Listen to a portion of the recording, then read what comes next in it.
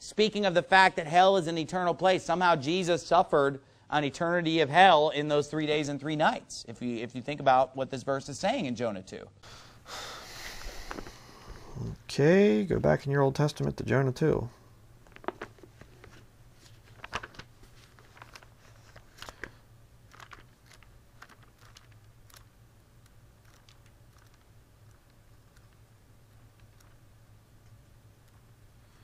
You know, again, you have this this whole thing of Anderson just taking verses completely out of their context and just you know, oh, this means that, and you know, whatever, whatever, and um, see which one it was that he was.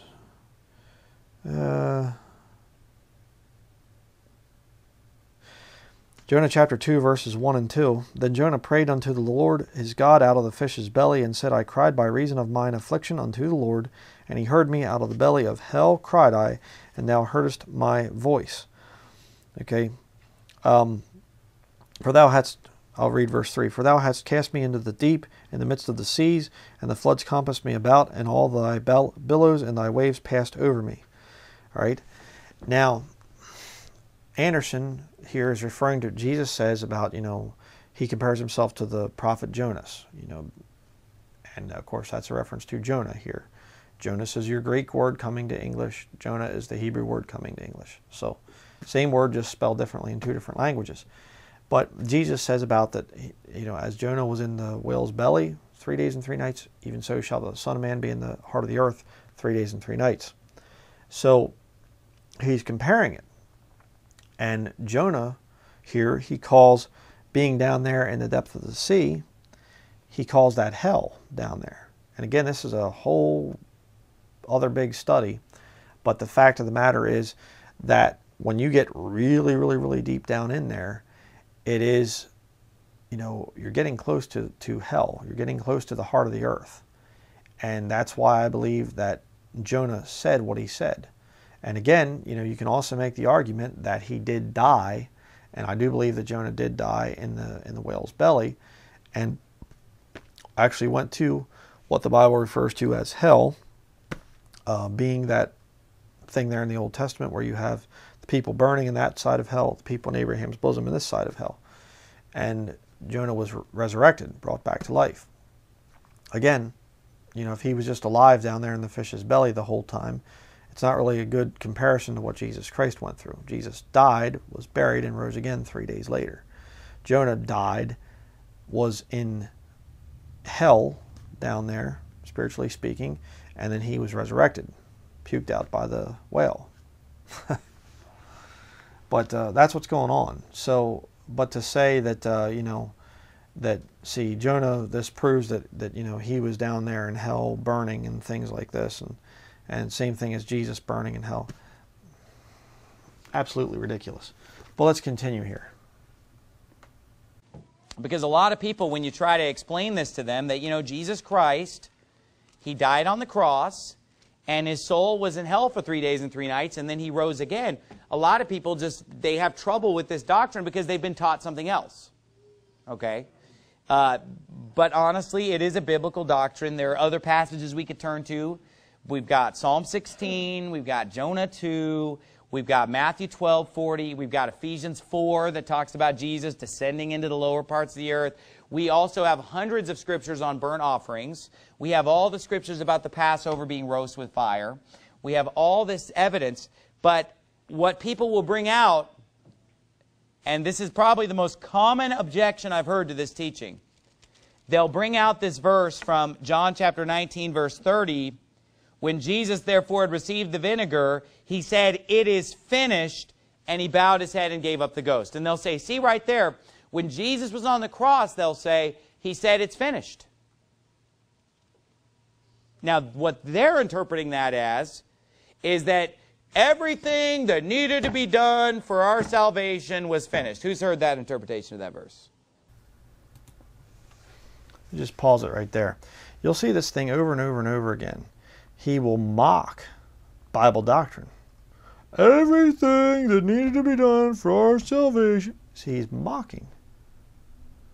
And that blood that was shed on the cross, we saw in Acts chapter 20, verse 28, it's the blood that purchases us. Hmm. How about that? The blood is what is where the remission of sins is. It's not his burial and resurrection. That just goes along with him being God and not being a regular man like other people would. You know, if he was just a man, his blood being shed and yet he didn't come up from the dead, well, it wouldn't have been much good. Okay, so that those things are that came after our salvation, but it's the blood that created the New Testament. It's the blood that washes our sin away. You know, I mean, scripture after scripture after scripture. Blood, it's the blood that is the remission for our sins. So, yes, in that sense, when Jesus died on the cross and he said, It is finished, that's because the blood was shed. Now, watch what Anderson says here. All over the building. People will always say that when Jesus said, It is finished, everything that was needed for our salvation was done. It's all been done. We don't have to do anything. It's finished. Now, that sounds good. It makes a good sermon, but here's the thing not true. Because he hadn't even risen from the dead yet. Hadn't even risen from the dead yet. It's not true. It's not true. The blood there was not, that's not it. That's not your salvation. Turn to Colossians chapter 1.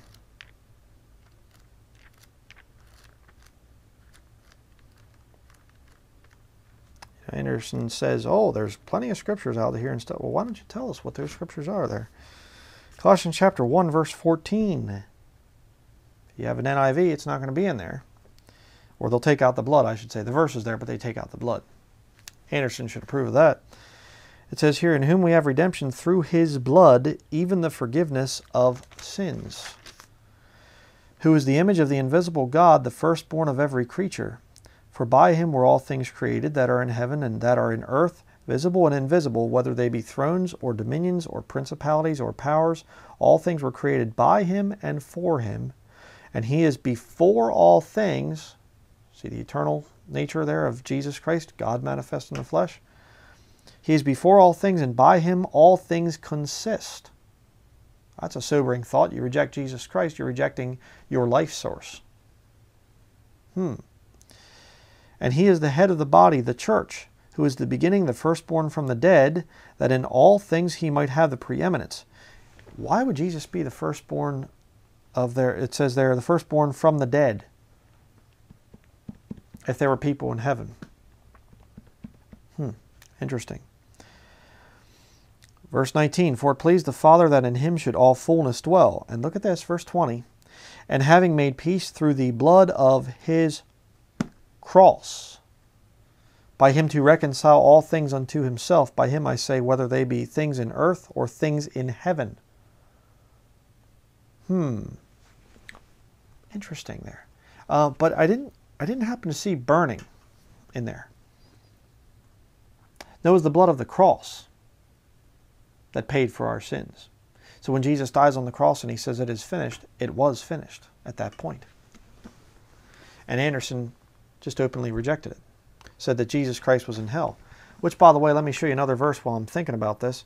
Turn your Bible to 1 Corinthians chapter 12. You say, well, I think he's saved. I just think, you know, he's just mistaken in this one point. But other than that, he's a fine preacher. Uh, well, let me just show you a, a real problem. Actually, you know what? Keep your hand in 1 Corinthians chapter 12, but we're going to go to Galatians chapter 1. Let me show you this verse. Galatians chapter 1, verse 6. It says, I marvel that ye are so soon removed from him that called you into the grace of Christ unto another gospel, which is not another, but there be some that trouble you and would pervert the gospel of Christ. Kind of like Anderson. But though we or an angel from heaven preach any other gospel unto you than that which we have preached unto you, let him be accursed. As we said before, so say I now again, if any man preach any other gospel unto you than that ye have received, let him be accursed. Two times it's said there, this thing of being accursed. Now, accursed, here in the New Testament, there's a bunch of references in the Old Testament. We're not going to go over all those, but uh, keep your hand there in 1 Corinthians chapter 12. We're getting to it. But go back in your Bible to Romans chapter 9. Romans chapter 9, verse 1. I say the truth in Christ, I lie not, my conscience also bearing me witness in the Holy Ghost, that I have great heaviness and continual sorrow in my heart. Now look at this, verse 3 For I could wish that myself were accursed from Christ for my brethren, my kinsmen, according to the flesh, who are Israelites, it says in verse 4. But, you know, so this, oh, it's spiritual Jews. He's not talking about spirit, spiritual Jews there. You know, according to the flesh, my kinsmen, according to the flesh. He's not talking about spiritual Jews. But Paul is actually saying that if it meant the salvation of the nation of Israel, he'd be willing to go to hell, accursed from Christ. So somebody who's accursed from Christ is in hell. Now we'll go to where you were waiting for. 1 Corinthians chapter 12. Now we're going to see something very interesting that again proves that Steven Anderson is definitely a lost man. And I use the term man very lightly. 1 Corinthians chapter 12 verse 1 Now concerning spiritual gifts brethren I would not have you ignorant Ye know that ye were Gentiles carried away unto these dumb idols, even as ye were led. Look at verse 3. Wherefore I give you to understand that no man speaking by the Spirit of God calleth Jesus accursed, and that no man can say that Jesus is the Lord. Get, got to get that one with the old charismatics will say, Jesus is Lord, Jesus is Lord, you know, because it says here, uh, no man can say that Jesus is the Lord but by the Holy Ghost. So they say, you know, some of the new versions will take out the, the definitive, definitive article there. So it's Jesus says the Lord. If you have the Holy Ghost, you can say that. If you don't, you won't say that. So a lot of these charismatic nuts that are coming out saying Jesus is Lord, Jesus is Lord, they're just proving that they don't have the Spirit of God. It's kind of funny. But you see there, no man speaking by the Spirit of God calleth Jesus accursed. Steven Anderson is, is preaching and teaching that Jesus is accursed. He's in hell, burning. That's accursed. He's not speaking by the Spirit of God. Proven right there. Proven from Scripture. But let's continue. Doesn't mean that he's not going to be dead for three days and three nights in hell. Okay, again, you see this thing that you know Jesus is dead, and and he's three days and three nights in hell. You know, and again, I ask the question: If Jesus, body, soul, and spirit, he's totally dead, he's in hell, burning for three days and three nights, who's running heaven? It's a problem. But let's continue. And so that's all we have time for tonight. It's, it's, a, it, it's something that people get emotional about just because they, they, they have their mind set a certain way. But Acts 2.31 is pretty clear. And if you disagree, if you say, well, you know, I don't think Jesus went uh, to hell for three days and three nights, you know, you don't have to believe that to be saved. Because what you have to believe to be saved is the death, burial, and resurrection. So, okay, so uh, let me just pause it there for a minute. You don't have to believe that Jesus burned in hell to be saved. It's the death, burial, and resurrection. Huh? What? You know, see, again, he's such a liar. That's the thing. This the spirit that is in Steven Anderson, and that's why I call him Anders Snake. Same reason Jesus called the, the scribes and the Pharisees, you know, of his day, he called them vipers. You know, that's why I call him Anders Snake, because he's got a spirit of Satan, a, a lying devil spirit within him. You know, you don't have to believe that, that Jesus burned in hell for three days and three nights to be saved. But he's been saying it. It's absolutely ridiculous. But let's continue. The part that you have to believe in to be saved is that Jesus was bodily killed and bodily buried and bodily risen again from the dead. But honestly, if you want to have true biblical doctrine, you must acknowledge the fact that Jesus fulfilled the Passover requirement to a T including the portion on being roasted with fire, because Jesus Christ did go to hell for three days and three nights. So the Passover requirement, you know, was that he had to roast, he had to be roasted with fire. Um, no. Uh, I mean, and again, where's this at in Scripture? Where does it say Passover requirement? Where's this thing of, you know, that that Jesus is the same as an animal? You know, the animals were in type, like Christ, okay, but they are not Jesus Christ. I mean, you know, Jesus Christ is likened to a lamb, but he was not a lamb. Apparently, that's a bit too deep for Steven Anderson to understand, I guess. But let's continue. One more little clip here, and then we're going to watch the James White stuff. But let's see about this. Okay, what it, what it really is is that Jesus went to hell and suffered the wrath of God for our sins. He suffered the wrath that we might not have to suffer that wrath. He suffered it for us, and He paid the, the punishment for our sins. So let me get this straight again. Jesus, body, soul, spirit, went to hell so he could suffer the wrath of God. But God is the soul. So how can he be in hell suffering God's wrath when God is right there in the person of Jesus Christ? You see the problem. Just incredible. Now we're going to watch some of this James White thing here, and I don't know that some of this stuff is just it's very very vexing to even listen to. Uh, this is near the end of the, the interview between James White and, and Anders Snake here, and it's it's funny because it's like watching two lost people you know debate over scripture. you know, it's kind of weird, you know, and uh, neither one of them has a clue about anything. Uh, both of them reject the Bible. Both of them have no higher authority on this earth than themselves. And um, I don't believe either one of them is saved. So, but let's let's just watch some of this, and it, it just we'll try to get through it. It's it's kind of very convoluted and, and confusing, but I'll pause it occasionally just to make some comments. So here we go. Hades, eight times, because the, the, the, the term Hades is used ten times in the Greek New Testament. Eight times they translate it as Hades, or transliterate it as Hades. They don't, they leave it untranslated as Hades. Okay. Two times they change it to something completely different. The grave. Okay. Disagree. And that is in, that is in Acts chapter 2 about Jesus Christ. Because in Jesus Christ it says, He was not abandoned to the grave, neither did his flesh see corruption. In the King James, in Acts 2.31, the Bible says, This spake he of the resurrection of Christ, that his soul was not left in hell, neither did his flesh see corruption. So in the King James, if I'm going to be King James only, if I'm going to believe that the King James is my final authority, mm-hmm. then I believe that Jesus Christ's soul was in hell for three days and three nights. Now, if I'm reading the NIV, I'm not going to get that. I'm just going to think we're talking about only the bodily aspect of his body coming out of the grave, not the fact that his soul Well, I don't- came out of hell. I Let me don't- ask this: Do you believe that Jesus' soul went to hell? Hades, not hell. There's nobody in hell. But a minute ago, It is oh, wrong. I'm sorry. I'm sorry. It is wrong, Okay, wrong, I'm sorry. wrong to I'm say sorry. Jesus was in hell. Okay, let me say it in a way. Okay, let me ask you this.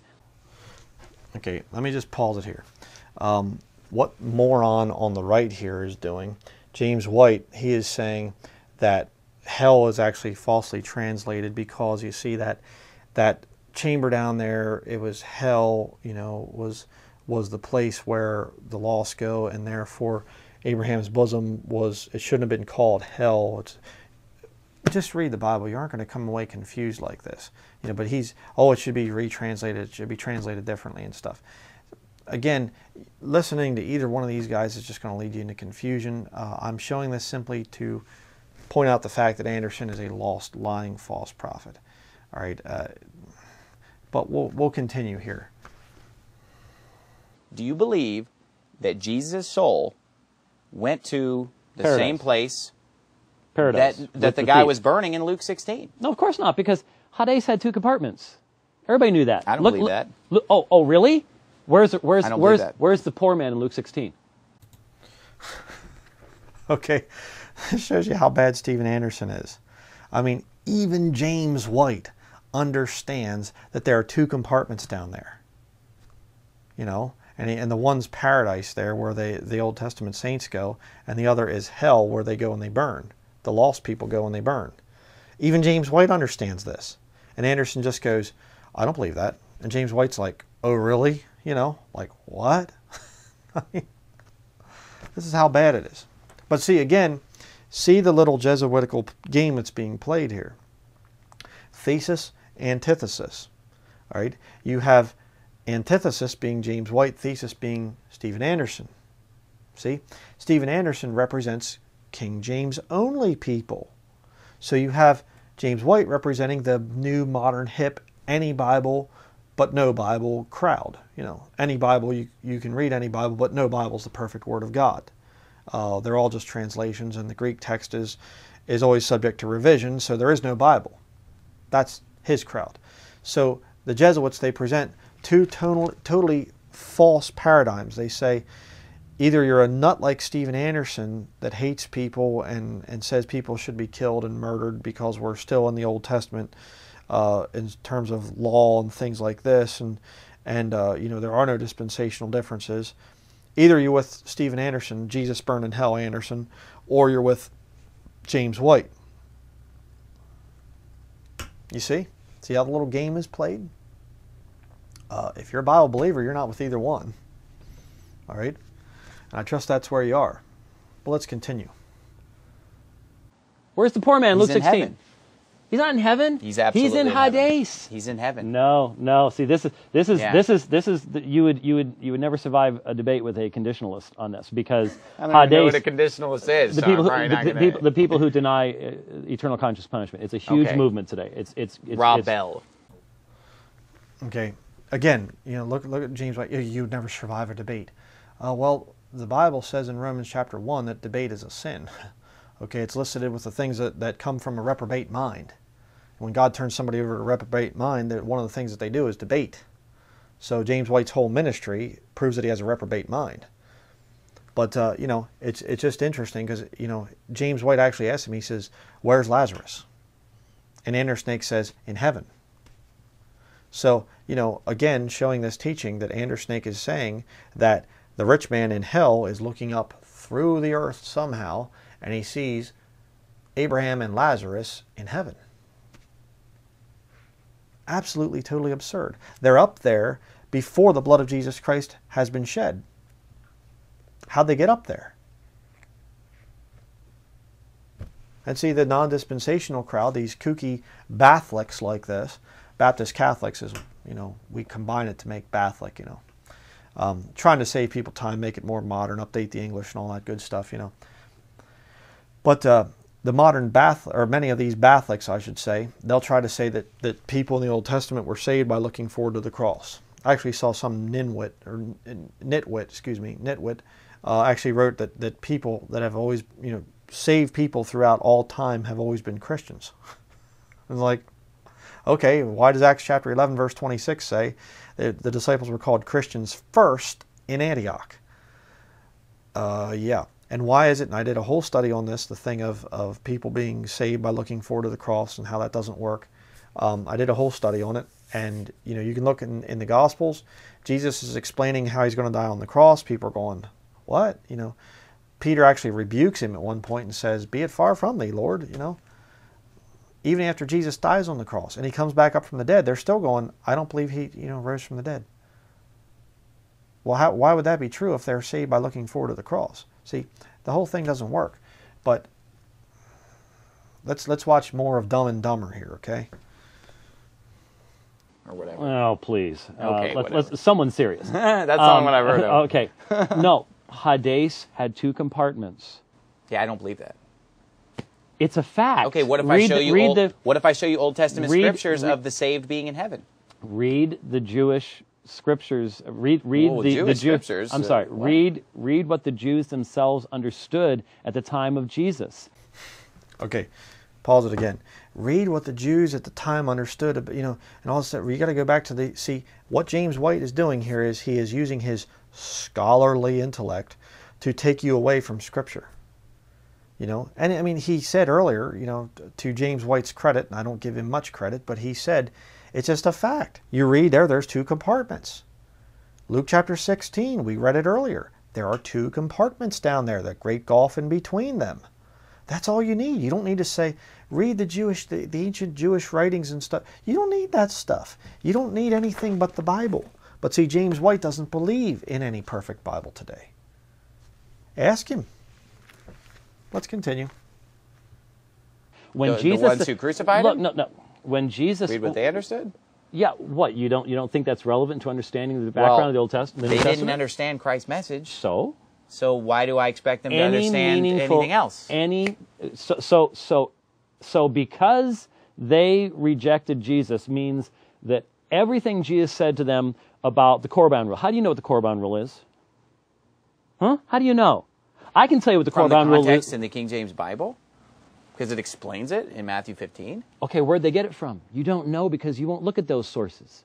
The Korban Well, rule. He's bringing up something that we shouldn't see- even care about because he's saying this is Oh, your stupid tradition. oh, we shouldn't even- But he's saying he's he's telling them. Hold on, he's rebuking them for their Korban rule. Steven, this is He's why not saying Steven, that. Steven, this is this is why I hope and pray that you will think about this. Because the fact that when I debate Roman Catholics, Uh-huh. I can demonstrate to them the Korban rule according to the Mishnah. Do you know what the Mishnah was? Do you know what the Mishnah was? Jewish fables.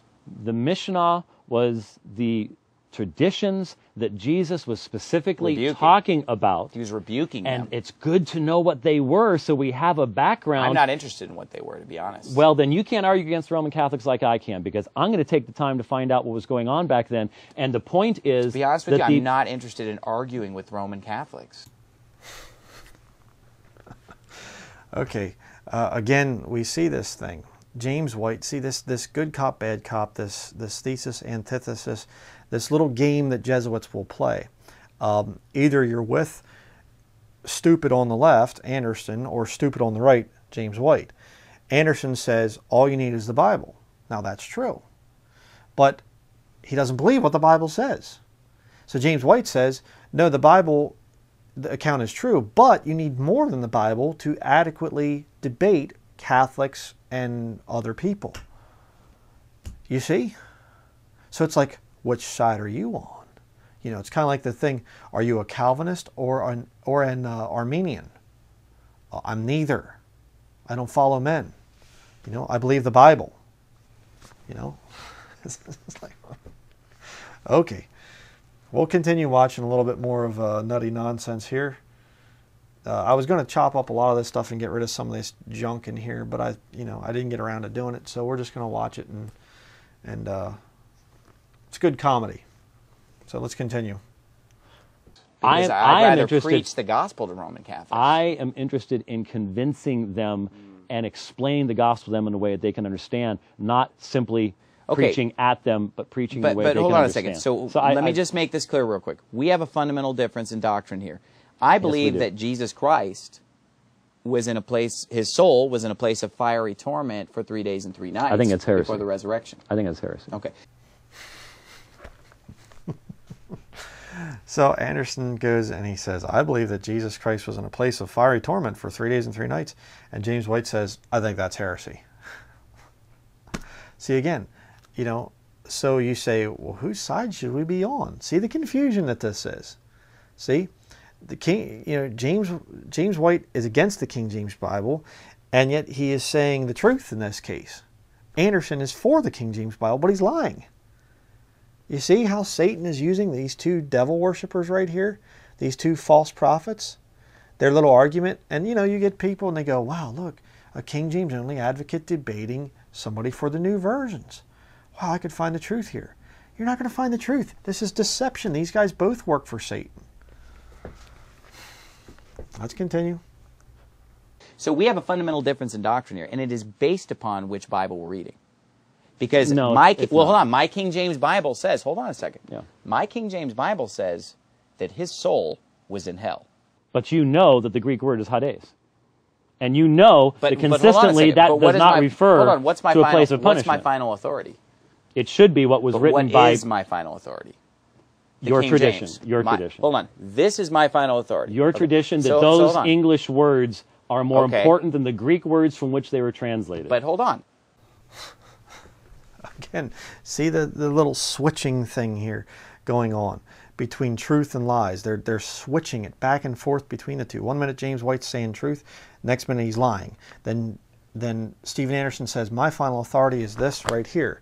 And James White says, Your final authority there is your, your, your traditions, your, your English words, you know.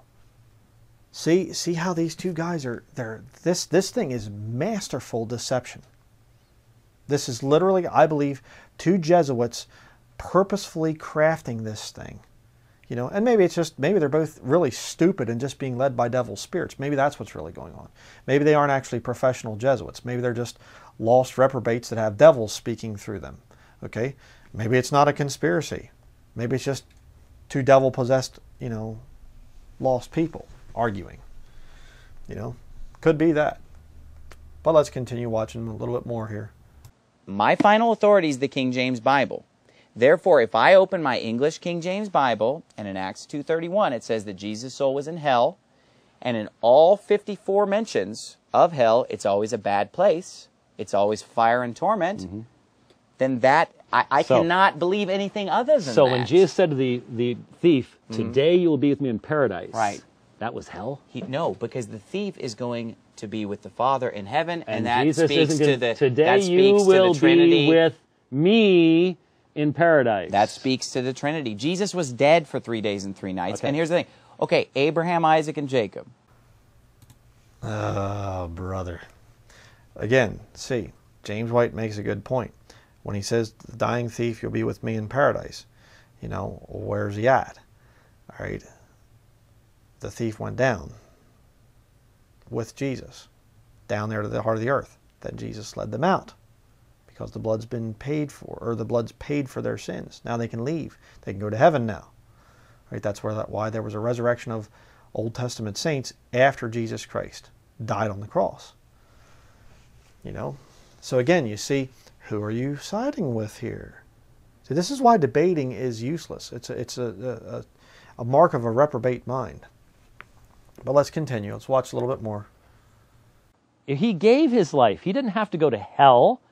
I believe that he went to hell for three days and three nights. I he was a burnt sacrifice. Every sacrifice it- is a I- burnt. I- I consider that Okay. ab- okay. Why? Hold on. Why is every sacrifice a burnt Okay, sacrifice? I'm not. I'm not even going to bother anymore with that because we're. Why was the Passover even- roast you with won't fire? Even, you won't even listen to the fact that Abraham is in a place with the uh, leper in heaven.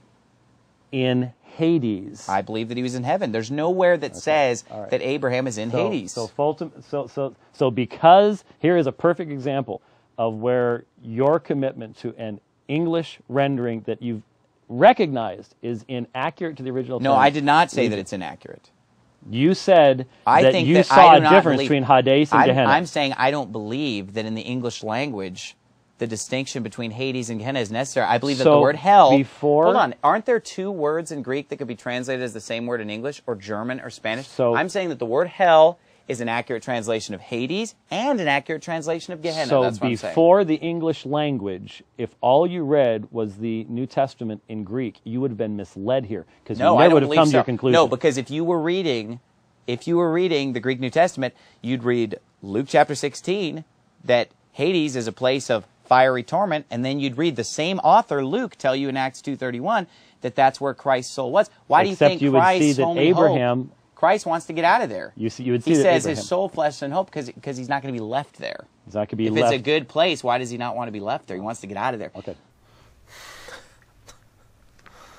Okay, so again, you know, we have this little stupid debating back and forth here.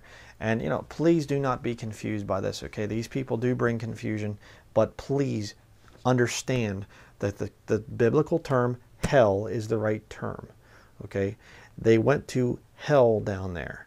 And you say, well, but what about the Old Testament? The Old Testament, there was hell and there was Abraham's bosom and a great gulf between the two. Now, understanding that they were down in there, they could not get into heaven. As we looked at the scriptures earlier, they couldn't get into heaven because there was no blood to pay for their sins. Those sins were not taken away. You don't need to retranslate the King James Bible. The word hell is adequate for, or not adequate, it is the word that should be there for Hades and Gehenna. There's no problem there. None at all. Absolutely none. So neither one of these guys is right. Okay? But let's continue. Okay, another point I wanted to make here real quickly. I just had to skip back there and watch that. Uh, Snake, another one of his little arguments is he'll say, if if paradise is a good place down there in the heart of the earth, why did he want to get out of there? Okay, will not leave his soul in hell. Why not? If it's a good place. Uh, okay, them sleeping down there doesn't mean that it's as good a place as heaven. Right? The reason that they're down there in that holding area, you know, the, the spirits in prison down there, as the Bible talks about over in 1 Peter chapter 3, they're down there because there's no way that they can get into heaven. Heaven's where they want to go. The hope of the resurrection. They want to go up. So it's not that, oh, it's a good place down there, and so Jesus shouldn't have wanted to leave there or something like this. See, again, he's saying that Jesus was suffering in hell, burning in hell, suffering, and that's why he wanted to get out. His soul was not left in hell. Stupid, absolutely stupid. But let's watch the, the one last thing here. And uh, James White basically at the end of the thing, he just finally, Anderson just will not let this thing go. He just, in his pride, he's just like, oh, that's the way it is. That's the way. And James White finally just says, okay, interview's over. I'm done. This is this is ridiculous. Shuts his mic off. But listen to what Anderson says. It's a legitimate argument that I'm making. That millions of people agree with me on. Can you stop at some point? Do you have the capacity? That's the question now. Okay. Anderson says it's a legitimate argument that millions of people believe in. And James White just laughs at him and he says, Can you stop? Is there some point that you can stop arguing? You know? But Anderson says that millions of people believe in this thing that Jesus Christ went to hell and burned. Uh, I can assure you that that is an absolute total lie. Uh, I don't know any serious Bible preachers that, that have ever taught this, that Jesus burned in hell. All right. So, you know, that's going to be it for this video. I, am not going to keep, you know, going on about this thing. It's just, I mean, scripture after scripture after scripture that we looked at today, proving that it's the blood that was shed on the cross that pays for our sins. Jesus being buried and rising again is just proof that he's God. All right? And of course, if you believe that he shed the blood, but he didn't wasn't buried and didn't rise again, well, you got a problem there. I mean, that's part of the gospel that he shed his blood, was buried, and rose again. But there's no mention anywhere in the New Testament of Jesus actually physically burning in hell to pay for sins. When the Bible says that his soul was not left in hell, it's talking about that underground chamber there that was separated by a great gulf. That underground chamber that is no longer there in terms of for saved people. People in the Old Testament that didn't have the blood there to pay for their sins yet. You don't go down anymore. Your flesh, your body of flesh goes into the grave, awaiting the catching away of the body of Christ. But this teaching that, you know, people just went right to heaven in the Old Testament, it wasn't even possible. It contradicts Scripture.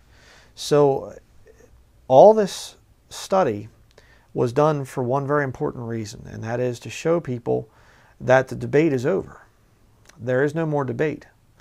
Um, Steven Anderson is not a saved man because, according to him, his gospel, his beliefs there, he says, you know, well, it's just the death, burial, and resurrection. But he, but he goes on to say that if you want to be doctrinally correct, you have to believe that Jesus also burned in hell. Um, but the Bible says in 1 Corinthians chapter 12, verse 3, that no man speaking by the Spirit of God calleth Jesus accursed. Steven Anderson doesn't have the Spirit of God by the Bible's own standard. He calls Jesus Christ accursed. And not just Jesus, he says the body, the soul. And he kind of says the spirit at the beginning. He says the spirit, I mean the, the soul, you know. So the Godhead bodily burned in hell for three days to pay for sin. Impossible. Totally impossible. This lying blasphemer right here uh, has been exposed by myself, by others, and uh, there's no chastening. And so, according to Hebrews chapter 12, I believe it's verse 8, um, he's a bastard. He's not one of God's sons. He is not my brother in Christ. He's not your brother in Christ. He is a lying false prophet. And uh, Steven Anderson, if you're watching this, um, I'm just going to say this to you. Uh, your time is coming. You have blasphemed God now on quite a few occasions. Uh, you are a liar. You are a deceiver. And um, if you can lower your pride enough uh, to admit that you have been wrong, that you have a spirit of Antichrist, if you can lower your pride enough, there's a chance that you can still get saved. But uh, to be quite frank, I don't think that you can do it. I think that you've gone past that point now where it would cost you too much and you would your pride does not let you come to God as a sinner. And therefore, you're headed for destruction. And uh, I believe that that destruction is coming very soon. So if you have been taken in by Steven Anderson and his lies, uh, I would suggest that uh, you really seriously think about what he's really saying the gospel is that Jesus Christ burned in hell. Um, think about what, where he is taking you uh, into a position where God's promise is, I will bless them that bless thee and curse them that curseth thee. If you haven't seen my study on the two different flags of Israel's flag and Jerusalem, their capital city, which is right here behind me, uh, you might want to watch that video and see that in fact this Jerusalem flag, the official flag of the city of Jerusalem, is actually prophesying the return of the lion of the tribe of Judah, right there behind me. The Hebrew word there, right here, is Jerusalem. This is the lion of the tribe of Judah. The wall, the kotel, there I think is how you pronounce it, the, the wailing wall, basically, and you have the two olive branches. It's a prophecy about what's going to come in the future, and they don't even realize it. The Jews that put that together don't even realize they're prophesying their own future. Jesus Christ is coming back. Um, and if you have seen the study, you will see that, in fact, uh, the prophecies in the Old Testament have this king that returns, their Messiah. He comes back the second time, and they say to him, You know, where did you get those scars in your hands and your feet? And he says, I was wounded in the house of my friends. You know, and again, you know, watch the video. I get into all the scriptures there. God brings back the nation of Israel in unbelief for his sake. And he restores that nation of Israel. You see, this whole debate is about real estate. It's about land. That's what this whole thing is about. And, you know, I'm going to be talking more about replacement theology and actually covering it in an, in an upcoming video.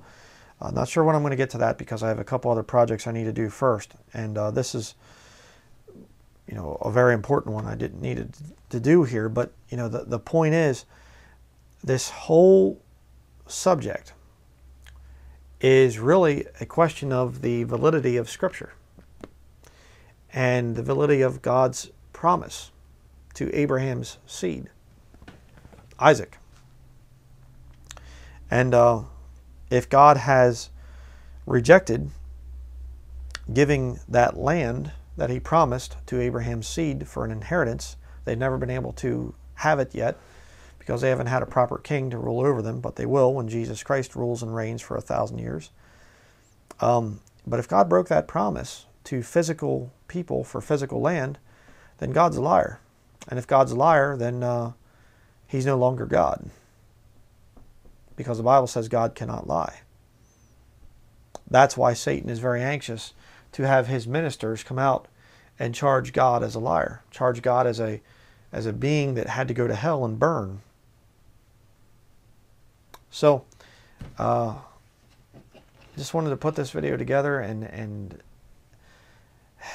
it just you know like I said at the beginning of the video, I've debated back and forth over the years: is Steven Anderson saved? Is he lost? Is he you know I've tried to have a lot of grace for him, but after seeing these videos, after seeing what he has preached for his gospel, he's lost.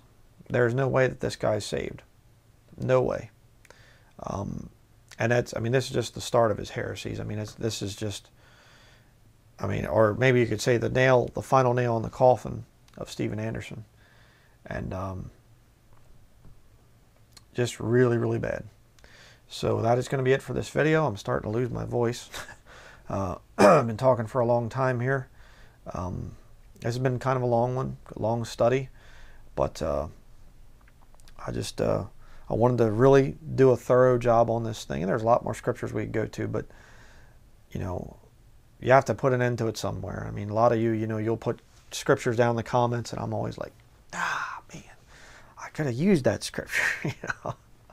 But you know, that's the great thing about being a Bible believer the the fellowship of the Spirit that we have, and how so many of you, you know, you, as you're going through this video, you watch it and you go, hey, you know, praise the Lord, you know, I this Lord just gave me this verse, and boy, that would have been good for Brother Brian to use, but I thank you for putting it down in the comment section. So that's going to be it for the video. Um, I'm going to stop talking now, and uh, got some more interesting stuff coming out. Uh, I'm not going to keep refuting Steven Anderson. Uh, I could waste all my time doing that, but I felt that this was so important that this guy is in our ranks as a supposed King James Bible believer. Uh, he's not. Um, he's fake. He's not a Bible believing Christian. Um, he is definitely a false prophet, a lying uh, deceiver. So that will be it. We thank you very much for watching. Thank you for your prayers. And thank you, all those out there that support the ministry through donations. We, we really appreciate that. I like to mention that every once in a while. Thank you very much. I'm going to be hopefully coming out with some more uh, studies here, not related to this, but um, some interesting things coming up. Uh, but I really needed to talk about this because uh, I've been after this guy for a long time. Um, I'm, I'm not obsessed with him. I'm obsessed with this book.